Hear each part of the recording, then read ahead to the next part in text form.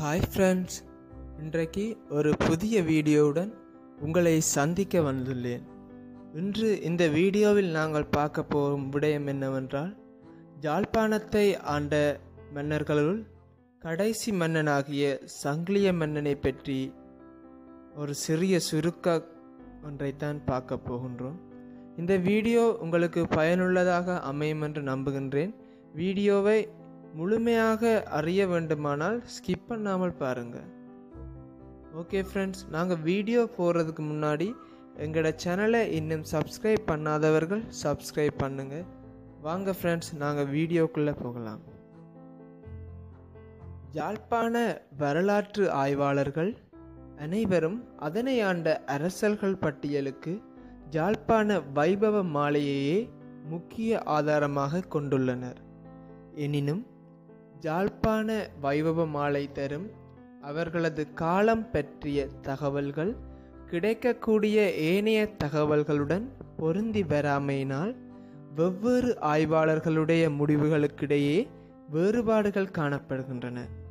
அந்த வகையில் ஜாழ்ப்பாணத்தை ஆண்ட மன்னர்களின் பட்டியலில் கடைசி மன்னனாக சங்கிலிய மன்னன் காணப்படுகின்றார்.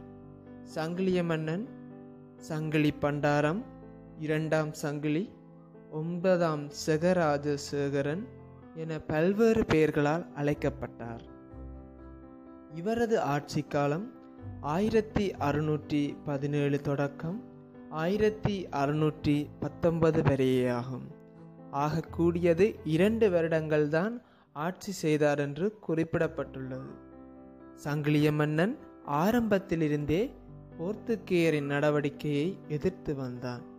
இதனால் கோபமடைந்த போர்த்துக்கேயர் கொழும்பிலிருந்தும் இந்தியாவிலிருந்தும் ஐயாயிரம் போர் வீரர்களை படைகள் அனுப்பி ஜாழ்ப்பாணத்தை கைப்பற்றினார். போர்த்துக்கேயர் சங்கிலிய மன்னனை கைது செய்து கொழும்புக்கு கொண்டு சென்றார்கள்.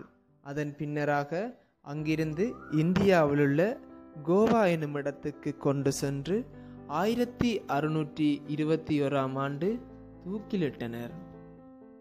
சங்கிலிய மன்னனின் மூன்று பெண் பிள்ளைகளும் போர்த்துக்கேயரனால் கோவாவுக்கு கொண்டு செல்லப்பட்டு போர்த்துக்கேய அதிகாரிகளின் உதவியுடன் அவர்களுக்கு கல்வி புகட்டப்பட்டது.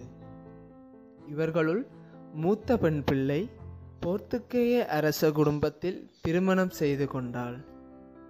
அவளது பெயர் சொரர் மரியா த விஸ்டாகோ இவர் ஆயிரத்தி அறுநூற்றி முப்பத்தி ஏழாம் ஆண்டளவில் கோவாவில் ஒரு முக்கிய அரசாங்க பதவியில் இருந்ததாகவும் அறியப்படுகின்றது.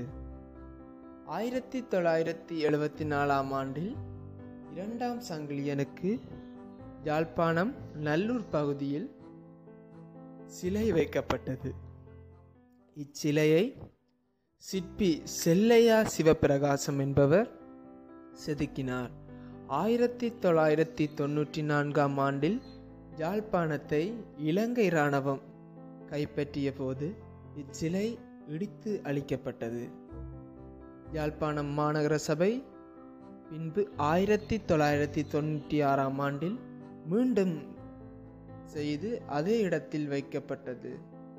அதன் பிறகு இரண்டாயிரத்தி பதினோராம் ஆண்டில் இச்சிலை யாழ் மாநகர சபையால் உடைக்கப்பட்டு இந்திய சிற்பி கலிகை பெருமாள் புருஷோத்தமன் என்பவர் தலைமையில் உருவாக்கப்பட்டு இரண்டாயிரத்தி பதினொன்று ஆகஸ்ட் மூன்றாம் திகதி மீண்டும் திறந்து வைக்கப்பட்டது. ஓகே ஃப்ரெண்ட்ஸ் நாங்கள் வீடியோட எண்டுக்கு வந்துட்டோம். இந்த வீடியோ உங்களுக்கு பயனுள்ளதாக அமையும் என்று நம்புகின்றேன். யாழ்ப்பாணத்தை ஆண்ட கடைசி மன்னனை பற்றிய விடயத்தை இதில் குறிப்பிட்டுள்ளேன். இந்த வீடியோ உங்களுக்கு பிடித்திருந்தால் வீடியோவை லைக் பண்ணுங்கள் ஷேர் பண்ணுங்கள் கமெண்ட் பண்ணுங்கள் மறக்காமல் எங்களோட சேனலை இன்னும் சப்ஸ்கிரைப் பண்ணாதவர்கள் சப்ஸ்கிரைப் பண்ணுங்கள் ஓகே ஃப்ரெண்ட்ஸ் இன்னும் ஒரு வித்தியாசமான வீடியோவுடன் வேறுபட்ட தகவல்களுடன் உங்களை சந்திக்க வருகின்றேன். உங்கள் தர்சன். நன்றி வணக்கம்.